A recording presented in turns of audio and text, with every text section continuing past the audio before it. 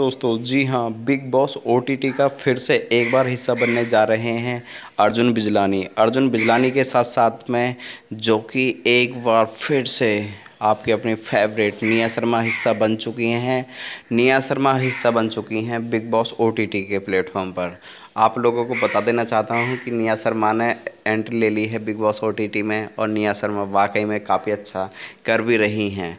रिया चक्रवर्ती और उनके साथ में अर्जुन बिलानी दोनों ही फिर से कम करेंगे, क्योंकि निया शर्मा पर सबकी निगाहें टिकी हुई थी कि निया शर्मा इस बार काफ़ी अच्छा कुछ करके जाएँगी बिग बॉस के अंदर। और फाइनली बिग बॉस के अंदर जैसे ही निया शर्मा की एंट्री हुई है टोटल लोग अर्जुन बिजलानी को काफ़ी मिस कर रहे हैं कि अर्जुन बिजलानी आखिरकार कितने टाइम में निया शर्मा के साथ में आते हैं? क्योंकि निया शर्मा काफ़ी बोल्ड और काफ़ी हॉट अभिनेत्री में गिनी जाती हैं, जो कि अर्जुन बिजलानी के साथ में कम बैक करने को लेकर चर्चाओं का विषय बनी हुई थी। लेकिन निया शर्मा जैसे ही बिग बॉस ओटीटी के घर के अंदर गई, तुरंत ही अर्जुन बिजलानी का भी रिएक्शन आने ही वाला है।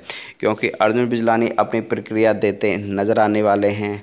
अर्जुन बिजलानी को हाल ही में ही खतरों के खिलाड़ी सीज़न 11 में सभी लोगों ने देखा होगा। काफ़ी अच्छा परफॉर्मेंस किया था।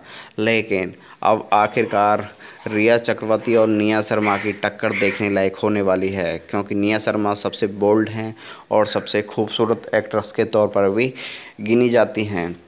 वहीं पे दोस्तों आप लोगों को बता देता हूँ कि बिग बॉस ओटीटी में इस समय काफ़ी बड़ा धमाल देखने को मिल रहा है, जो कि दर्शक काफ़ी समय से उत्साहित थे नए एपिसोड के लिए। सो जल्दी ही हिंदी टेलीविज़न का सबसे बड़ा सीरियल आ चुका है बिग बॉस ओटीटी में निया शर्मा। दोस्तों, मैं चाहता हूँ आप मेरी वीडियो को लाइक कीजिए, चैनल को सब्सक्राइब कीजिए, कॉमेंट करके ज़रूर बताइए। Thank you so much.